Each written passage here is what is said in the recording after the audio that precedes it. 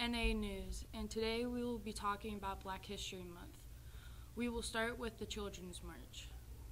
On Thursday, May 2nd, 1963, a march began to change the future. It started him in Birmingham, Alabama. Kids skipped school to head down to 6th Street. They started at Baptist Church. The march, they marched while filling the air with song, We Shall Overcome. Many kids were as young as six years old. As the kids walked, the police arrested them, hosed them, and had the dogs attack them. By the end of the day, almost a thousand kids have been put in jail. Dr. Martin Luther King was also part of the march and later got arrested. Later, we found out that Reverend James Bevel was the leader of the march. Some kids were in there for three weeks and only had one sandwich a day. The march ended May 4th, 1963. All the kids marched to make a difference. The march, the march be, was because of segregation between people. Many people helped organize the march. One was Maya Angelou. And here are some images from the Children's March.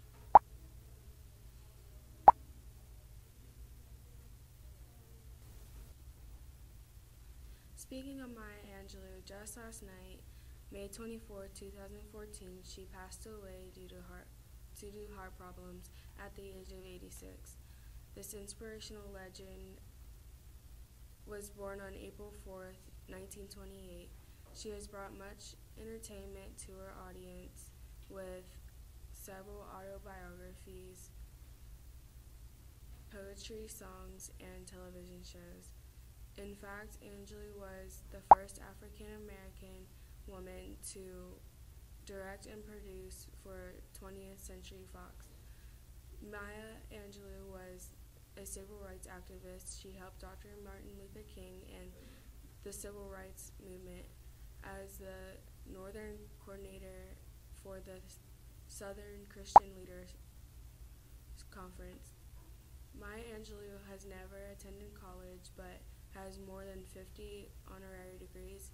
As a result of this, Mrs. Angelou began to teach at West Forest University in Winston-Salem, North Carolina in the year of 1982. She mastered six other languages besides English. In the year of 1977, Angelou was nominated for an Emmy Award. 17 years later, she won a Grammy Award for an audio recording of the poem On the Pulse of the Morning. In the year of 2011, she was presented the Presidential Medal of Freedom by Barack Obama.